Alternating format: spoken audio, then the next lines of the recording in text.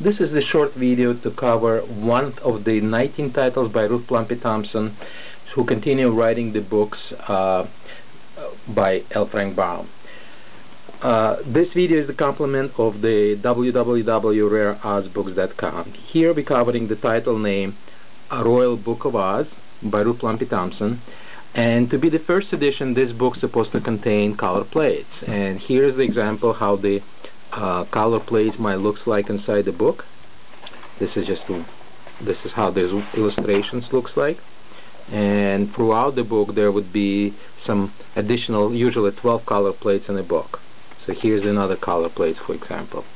Now, this particular book, although it is a first edition because contain color plates, does not, it's not first printing. In order to be first printing, on the plate opposite of page 255, if we look at the caption of that plate, the word scarecrow should be complete and is exactly properly spelled.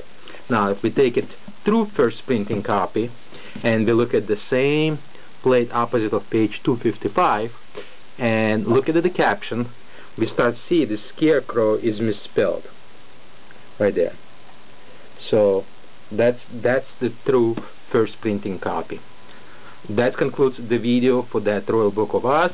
It's, uh, if you would like to visit some of those books or purchase or get more information, please visit www.rareozbooks.com.